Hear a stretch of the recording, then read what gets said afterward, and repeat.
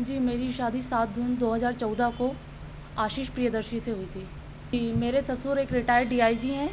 शादी में मेरे सास, ससुर, उनके पंद्रह बीस रिश्तेदार, मेरे पापा, मम्मी, मेरे पंद्रह बीस रिश्तेदार दिल्ली से शादी हुई थी रेडिसन ब्लू होटल से।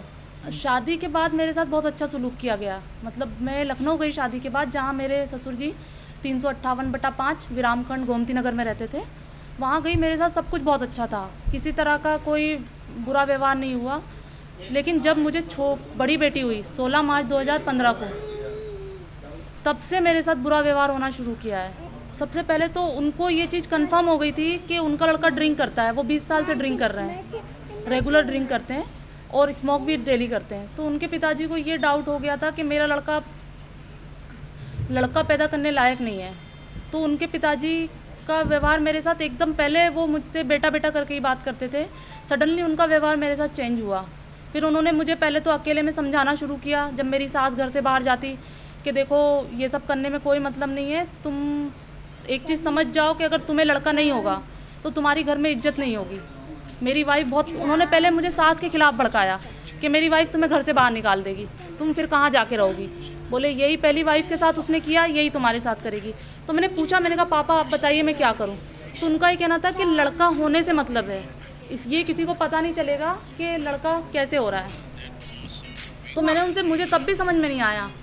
जब उन्होंने मेरे साथ कुछ एक दो हरकतें गलत की तब मैंने मुझे बहुत अजीब लगा और मैं अपने रूम में जाके बंद हो गई जब तक मेरी सास घर में नहीं आई।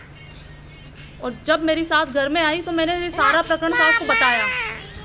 मतलब फ़िज़िकल रिलेशन बनाने का दबाव जी जी जी वो मेरे साथ फ़िज़िकल रिलेशन बनाने का दबाव डाल रहे थे। एक सिर्फ़ लड़का पैदा करने के लिए।